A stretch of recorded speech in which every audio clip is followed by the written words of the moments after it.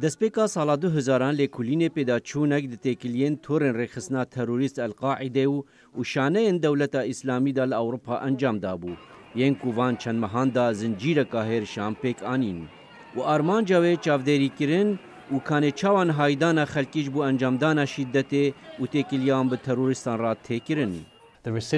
دەگەڕانە بۆن کەسان ئەوێن بخۆ هاتیە گونەهبارکردن لەسەر چالاکیان ڕێکخستیا ئەلقاعدا ئەڤە ڕاهێنانە و ڕاکێشانە وان کەسا بوو ئەوێن تەبلی هێرشن بڕوکسل و پاریسێ بووین. کەسێن دناواندا تەکانە هاتین دەستنیشانکردن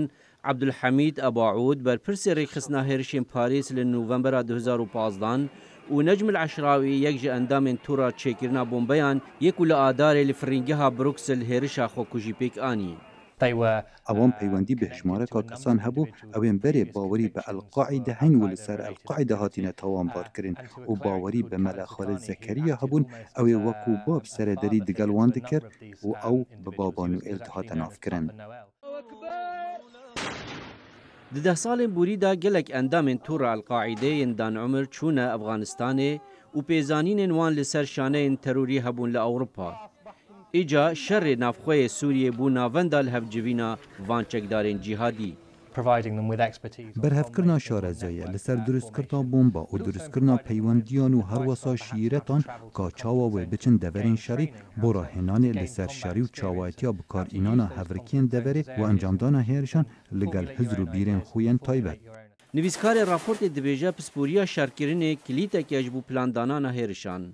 پرانیا پلانên terorî li Ewropa ji aliyê endamên dewleta Îslamî yên welatên Ewropî bûn ku çibûn beşdarî di şerên Sûriyê de kirine û vegeriyane, her çende ew li jêr çavdêriya saziyên îstixbaratî dabûn jî.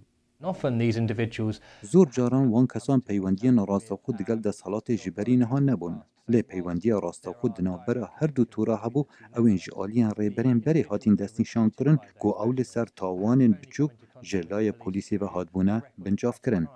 ئامادەکاری راپۆرتی دەبێژە یا باش ئەوە بەرسنگێکی دەتکاران دەگرتیگەهاندا بەهێگرتن و ئەوانبینن سەرە ڕاست هەروەها باشتر ئەوە ڕێبهێگرتن ژ بۆ ڕێگرتن ئەوان یا چوونا دناف ڕێخستنێن تەروریدا.